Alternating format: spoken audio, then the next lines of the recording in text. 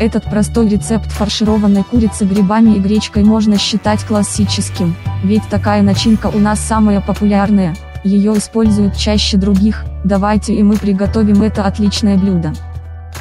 Не все хозяйки знают, как сделать фаршированную курицу грибами и гречкой, ведь многие думают, что приготовить такое блюдо весьма непросто, но если вы внимательно прочитаете этот рецепт, то увидите, что все совсем не так, и сделать фаршированную курицу грибами и гречкой в домашних условиях под силу любой из нас, смотрится такое блюдо всегда очень эффектно и празднично, поэтому даже если вы приготовите такую курочку на ужин, вы точно поднимете всей семье настроение.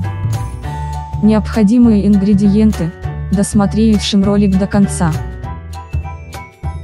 Кто не подпишется, останется без следующих вкусностей.